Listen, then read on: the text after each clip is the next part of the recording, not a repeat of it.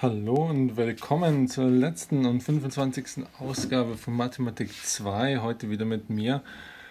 Es geht um Differentialgleichungen höherer Ordnung und wir schauen noch ein bisschen in Differentialgleichungssysteme rein.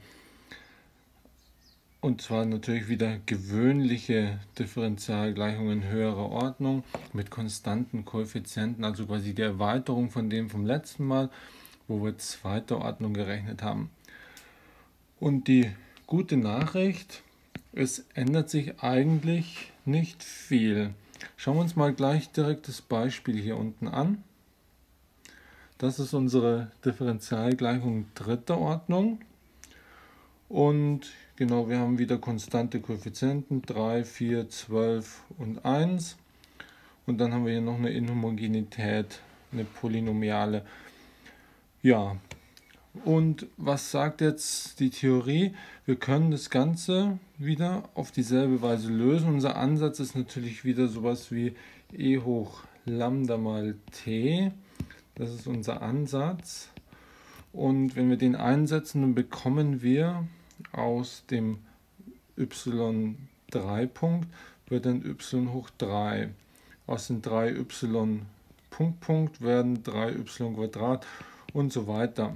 Ja, also ich bekomme hier dieses Polynom und von dem muss ich jetzt natürlich die Nullstellen finden, dritte Ordnung.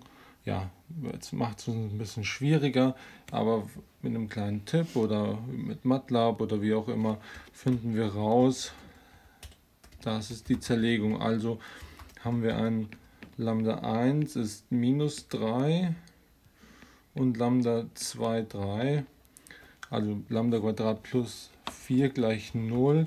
Das sind natürlich plus minus 2i. Okay.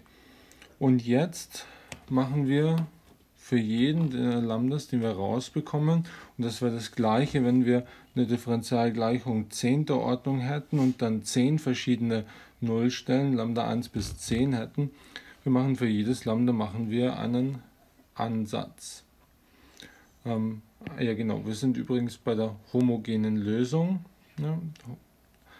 Also genau, wir lassen erstmal die, ähm, den, das Störglied setzen wir gleich 0.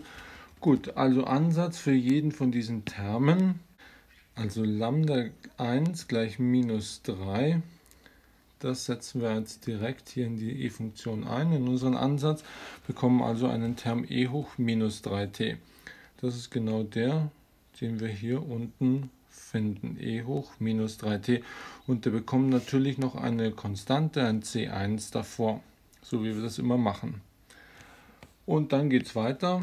Dann haben wir, also wenn jetzt noch eine reelle Nullstelle wäre, dann hätten wir auch nochmal ein e hoch andere Nullstelle mal t. Jetzt haben wir hier ein komplexes Paar. Und da wissen wir ja, wenn wir so ein im Prinzip ein Delta plus minus i Omega haben. Jetzt ist unser Delta, das ist 0 und unser Omega ist 2. Da wissen wir, da wird ein Sinus und Cosinus draus mit dem Omega. Also wir haben hier einen Cosinus und da ist jetzt das Omega der Zweier drinnen und ein Sinus 2t. Die beiden Terme bekommen wir jeweils auch mit den Konstanten C2 und C3 davor. Genau, also jetzt haben wir Polynom oder Differentialgleichung dritter Ordnung wird zu charakteristischen Polynom dritter Ordnung. Dann bekommen wir drei Nullstellen, also haben wir hier drei Terme für die homogene Lösung. Und jetzt können wir natürlich weitergehen. Jetzt wollen wir noch die partikuläre Lösung suchen. Und da ist es jetzt wieder ganz genauso, wie wir das ehemals auch schon hatten. Also Polynom ersten, ersten Grades,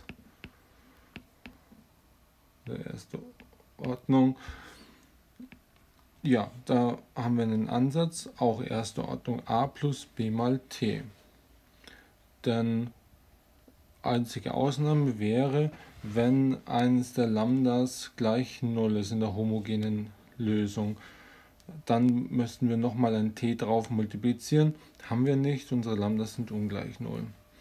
Gut, und diesen Ansatz hier für die partikuläre Lösung, den setzen wir natürlich wieder hier in die DGL ein, rechnen a und b aus und bekommen dann diese Koeffizienten raus, ein 36 und ein Zwölftel.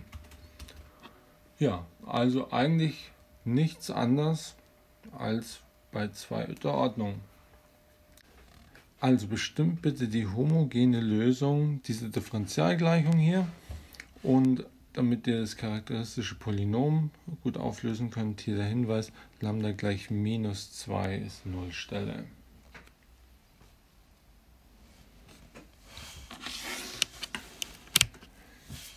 Hoffe, es hat einigermaßen geklappt. Lösen wir es auf.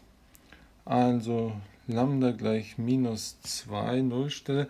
Dann bleibt Lambda plus 1 Quadrat übrig. Im Prinzip, ihr macht eine Polynomdivision mit diesem Term Lambda plus 2.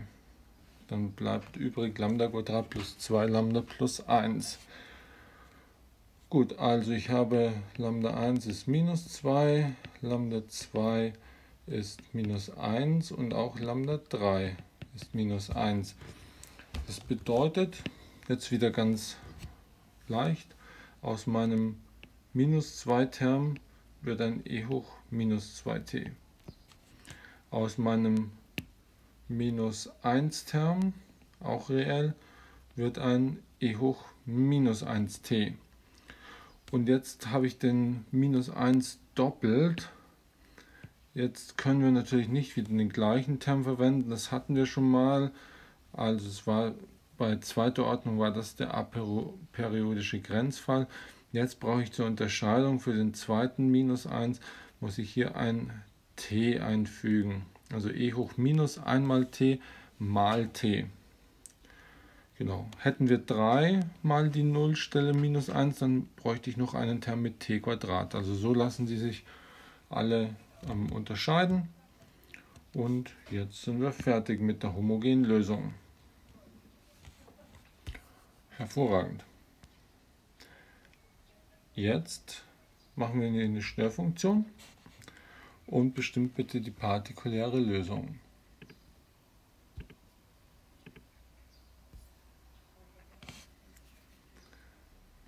Wunderbar. Also Auflösung unser Ansatz ist einfach die Störfunktion mit einer Konstanten davor. Ja, ähm, einzige Ausnahme wäre, wenn minus 3, also hier das Lambda in der Störung, wenn das auch Teil der homogenen Lösung ist. Jetzt schauen wir hier, homogen, minus 2, minus 1, nein, minus 3 ist nicht Teil der homogenen Lösung, also keine Ausnahme, ganz normaler Ansatz. Ja, ganz normaler Ansatz, also einfach die Störfunktion mal Konstante. Sonst hätten wir da noch ein t vorne mit einfügen müssen. Okay, ähm, jetzt ja, nehme ich den Ansatz und stecke ihn in die Differentialgleichung, also dreimal ableiten. Da bekomme ich viele Minus 3 nach vorne das Ganze auflösen. a ist ja meine einzige Unbekannte in dieser großen Gleichung und ich bekomme raus, a ist minus ein Viertel und das ist dann die fertige Lösung. Ich kann also sagen, meine allgemeine Lösung für diese Differentialgleichung dritter Ordnung ist hier mein y homogen plus y partikulär. Und wir sind fertig. Also ganz einfaches System, wie das Ganze funktioniert. Gut, und das ist natürlich auch auf alle höheren Ordnungen übertragbar. Größte Schwierigkeit hier ist jeweils nur das charakteristische Polynom zu lösen. Gut, im nächsten Video geht es dann gleich weiter mit Differentialgleichungssystemen. Bis gleich.